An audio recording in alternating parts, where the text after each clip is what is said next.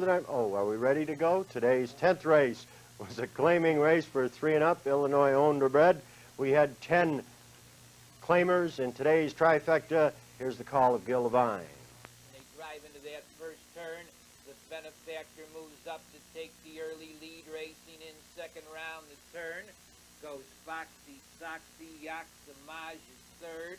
Racing in fourth to the quarter mile pole goes Ideal Nibble.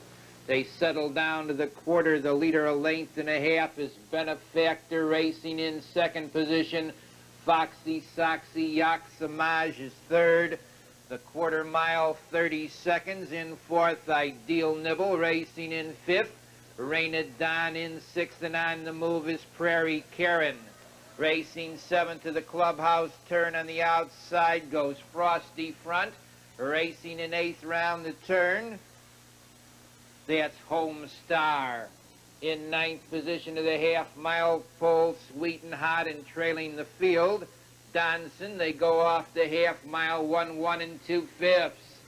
That's Yaxamaj moving up to take the lead, racing in second to the three quarters. Benefactor in third position now along the inside, Foxy Soxy.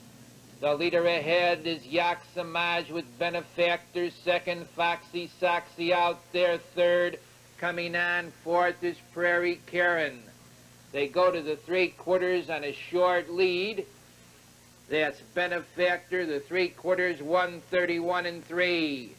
Benefactor leads with Yaxamaj alongside, second coming on, third in the lane.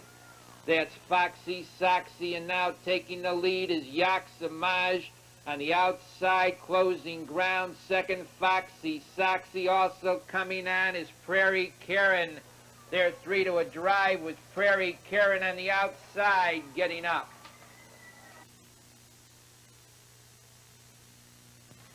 So that was live, my friend, so you'll have to look at the paper or call 976-2121 for the official results or listen to Tony Salvero. He'll have the results on WYEN at 630.